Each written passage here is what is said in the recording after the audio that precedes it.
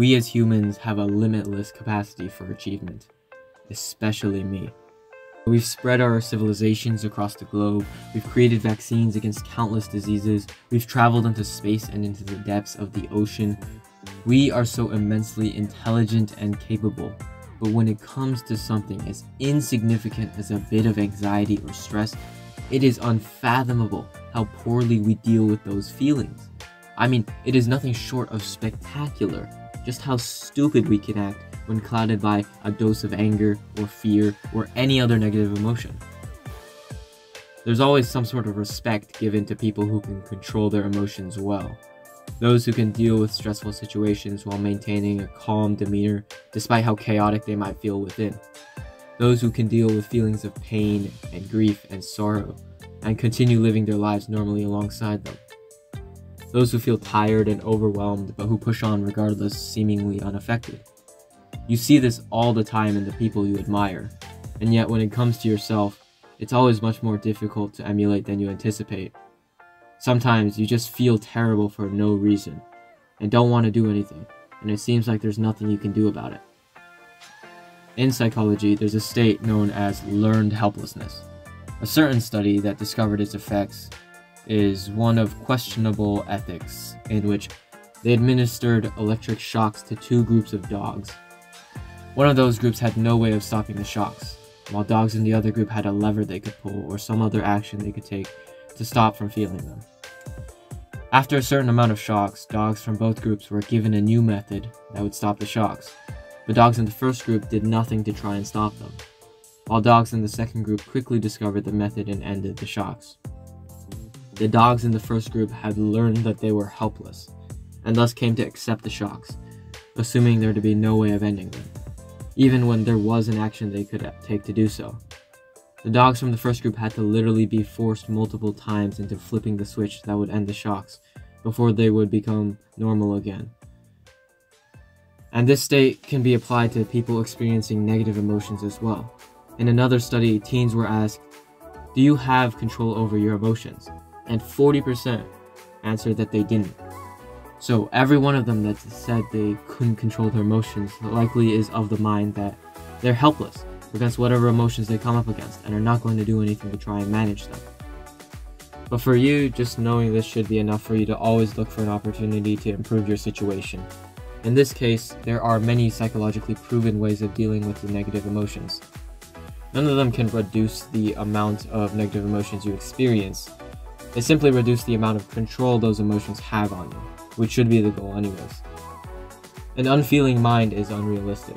Instead, you should aim to improve the quality of the thoughts you have in response to your feelings. First of all, many people when struggling with emotions aren't even able to accurately identify what it is that they're feeling. You can't deal with something effectively unless you understand it. I think it can be very helpful to just think and articulate to yourself what specifically you're upset about and why, rather than simply admitting you feel bad right now. Identify the feeling, rate its intensity from 1 to 10, even assign it a color and a shape to visualize it, whatever. It's also important to find the source. Multiple studies outline that if you impose a stressor on a group of individuals involuntarily, and a separate group decides by their own volition to undergo that same exact stressor, the people who decided on their own use an entirely different psychophysiological system to deal with it. They use the system that's associated with approaching a challenge rather than the system that's associated with defensiveness and fear. It's even more apparent if you know you have control over the stressor. There was a study with adults who were assigned to complete a certain cognitive task, while every once in a while they'd be distracted by a loud noise. Some of them had no control over the noise, but others were given a button that could turn the noise off if they wanted to.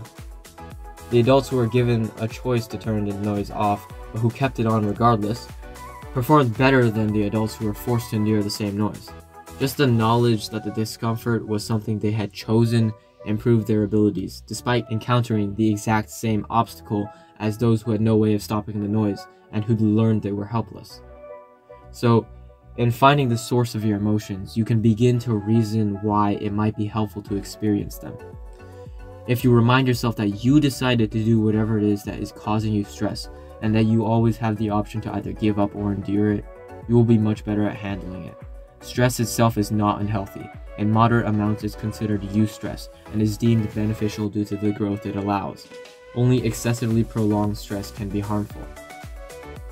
But that can be minimized as well through something called ACT, not the American College Test, but rather Acceptance Commitment Therapy, which is a method of dealing with negative emotions and thoughts by accepting them and focusing on controlling one's behavior rather than one's feelings.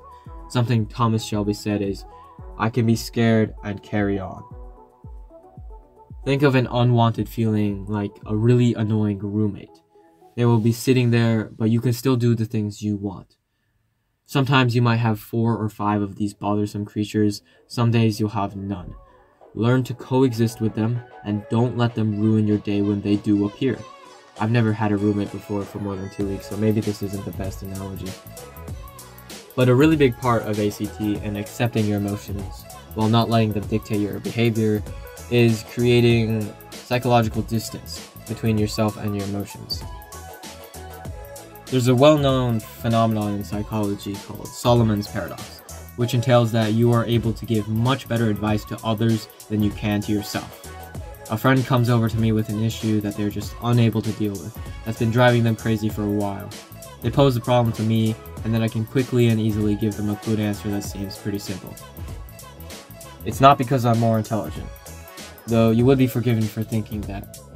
It's because it's easier to solve problems and make rational decisions about emotional situations that don't affect you, which is why we are infinitely better at helping other people than we are at helping ourselves. Thus, creating psychological distance between your thoughts and your feelings is a good way of decreasing the effect emotions will have on your decisions and improving the quality of those decisions. This psychological distance can be created through something called self talk. All of us have an inner voice. You use it to repeat lists or numbers or names in your head over and over, and then forget them anyways. You use it to simulate conversations as if you're going to speak to anyone. You also use it to talk to yourself about how you feel and what you should do but there are particular ways you can take advantage of the language you use to talk to yourself, which influences psychological distance. A good example is using your name or non first person pronouns like him or you to talk to yourself when thinking. You can see the greatest basketball player of all time, LeBron James. Fine, one of the greatest basketball players of all time. You can see him do this when he had to make one of the biggest decisions of his life in 2010 after his contract with the Cleveland Cavaliers had come to an end and he became a free agent. He had to decide between staying with the Cavs or moving to either the Miami Heat, the New York Knicks, or the Chicago Bulls. Now, in an interview where LeBron explains his decision to go to the Heat, he says, I wanted to do the best for LeBron James and do what LeBron James was going to do to make him happy. By using non first person pronouns and names normally intended to refer to others to refer to ourselves instead, we can begin to think of ourselves and our problems as someone else's. And we are no longer as emotionally attached, since we care about ourselves way more than we would care about someone else, and thus are able to make much better decisions.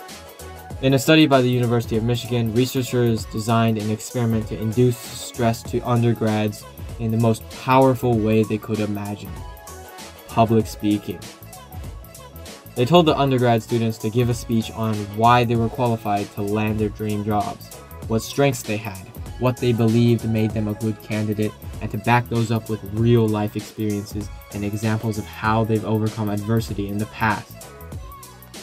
I know, this experiment is almost more unethical than the dogs. Now, they were given 5 minutes to prepare with no pen or pencil, and after they were all given 3 minutes to work through their stress but half were instructed to do so in the first person, and half were instructed to do so not in the first person. So, some were instructed to think, why am I feeling this way? And others would think, why is Lucas feeling this way? Then they gave the presentations, and judges rated them on a scale of 1 to 5 based on confidence and persuasiveness and overall performance. What's funny is that the audience members were specifically instructed to look stern and disapproving of the speaker, which is just cruel. Still, on average, participants in the non first person group did significantly better than participants in the first person group. They were also asked after their speeches about how much shame they felt, and consistent with the former findings, on average, the non first person group reported feeling less shame about their speeches than the first person group.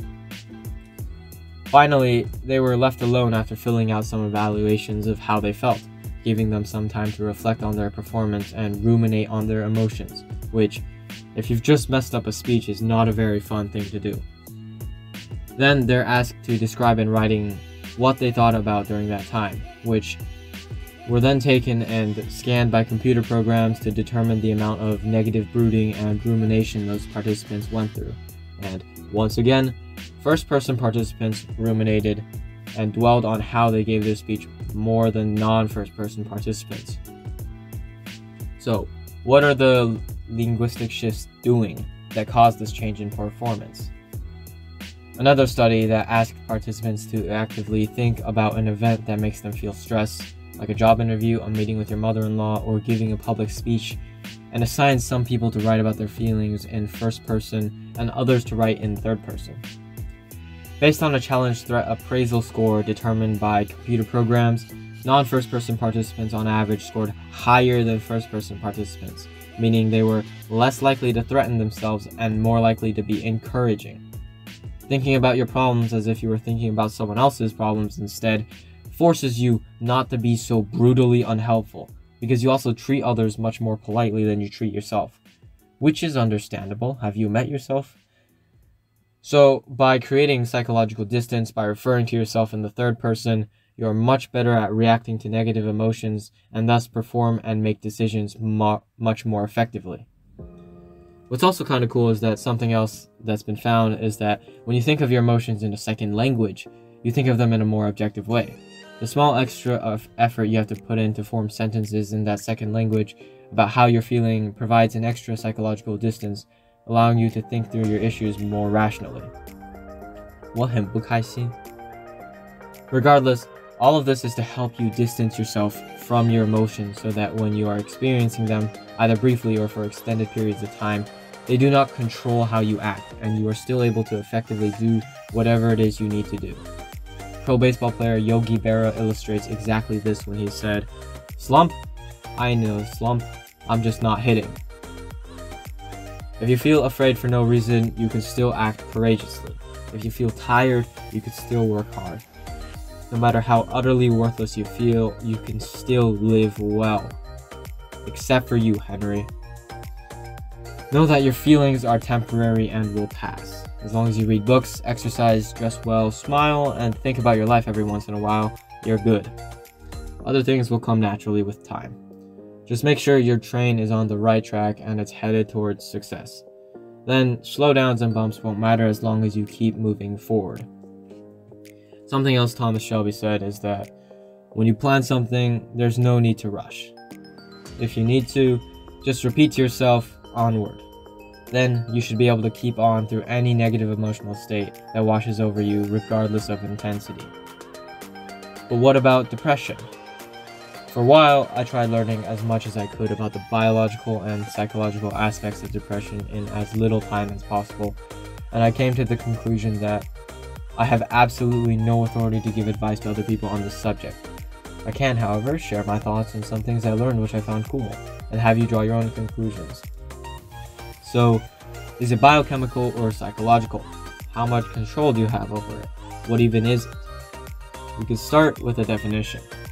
According to Robert Sapolsky, depression is a biochemical disorder with a genetic component and early experience influences where somebody can't appreciate sunsets. It's characterized by a couple symptoms inability to feel pleasure, or anhedonia, grief and guilt, as well as psychomotor retardation, or the lack of motivation to do anything. Now, this refers to major depressions, where your prefrontal cortex is essentially whispering to the rest of your brain that the minor inconvenience that upset you emotionally this morning is equivalent to you experiencing massive amounts of physical pain, and so your body reacts accordingly for the next month. Thus, it's biochemical, and Sapolsky goes as far as to argue that it's as genetic a disorder as childhood diabetes, You don't say to someone with diabetes that they should just get over it. And this is what a lot of people think that it is my body's chemistry, so I can't do anything about that. However, in the vast majority of cases, I don't believe people who think themselves to be experiencing a major depression have as little control as they believe themselves to have. According to Johann Hari, there are nine different causes of depression and anxiety, most of which are not biological but are instead are lifestyle factors. But that doesn't make sense. We are a generation living better than Louis XIV, and yet we are more depressed than ever. What's up with that? Now, in the 1960s, women would go to their doctor and report that they had everything that a woman could possibly want. A husband, car, washing machine, two kids, but they still felt terrible. The doctor would say there's something wrong with your nerves and prescribe a Valium. We know now that these women had everything the culture told them they could possibly want, but that culture was terribly inaccurate. As a woman, as a human, you need more than just a washing machine and kids. You need a fulfilling life. You need a sense of purpose. You need a confident man with a big heart. Our situation now is not very different. People who have everything that they think they could ever want are still feeling like garbage. And we assume that's due to a natural chemical imbalance, but what if it's because they have a terrible idea of what it is they actually want?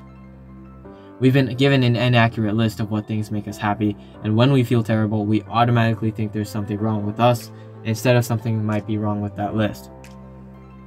Okay, but there is biochemistry involved, and depression is highly genetic. If you have an identical twin who has depression, you have a 50% chance of developing it as well. It's been found that a certain gene relating to serotonin levels in the brain is the source of this. It has a good version and a bad version. Now, in most cases, having either version does not increase or decrease your predisposed chance of having depression. Unless you are exposed early to early in adolescence to an immense amount of major stressors and you have the bad version of the gene, in which case you have a much more likely to experience depression. Even in this case, however, depression is not 100% out of your control. I don't think anyone argues against that. There's always something you can do. You can have a mental health issue, but it is false to expect that others will slow down for you because you have it. In third world countries where people have far more to worry about in terms of survival, despair is a luxury. Even if, for some people, there wasn't anything they could do about it, which would you rather believe? That you have no influence whatsoever, or that it is something which you have control over? It might not be your fault, but it's your choice whether or not to take responsibility. It's tough when deciding whether or not to accept something as unchangeable or to struggle endlessly against it. When it comes to psychological issues, however, I think there's typically much more we can change than we think.